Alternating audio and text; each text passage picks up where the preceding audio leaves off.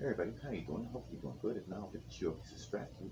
Okay, this is Night Striker, and I'm gonna be playing this with the Sega CD emulator, which is Kega Fusion.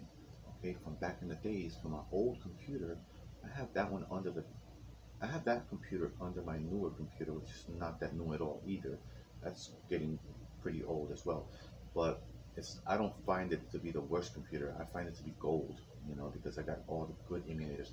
This emulator happens to work on Windows 10, and this is from 2008.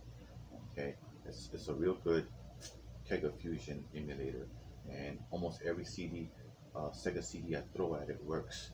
And I'm using an external, well, really an internal CD player, but I took it out, and now it's an external, and from an internal to an external.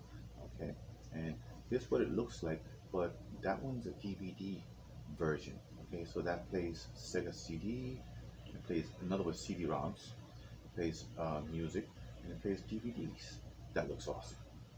And um, anyway, so I'm gonna show you what that looks like, except this one here that I'm gonna show you now is the um, CD version, which plays CD-ROM as well, okay? So it, has gotta have, it usually has a plate here, but this one still works, okay? And the volume, as you can see, up and down. Let's see if I can show you that a little better. I if I can. And then the, the microphone, okay. Uh, the in and out for the for the tray, okay. Uh, yep. And here's the top, okay. And there's nothing to it really after that, except for the back. Okay, on the bottom here's the back. This is the, the interesting part. Um, this piece here is where all the stuff happens right here with the computer communication. Okay, and this is the power over here. Okay, these four pins. Actually, it might be just two pins or three. I don't know how that goes.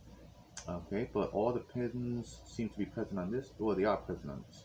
So, so yeah, I'm gonna be using a PlayStation Classic controller for that. Okay. Anyway, thanks a lot. Please like and subscribe if you like it. Take care. Be blessed.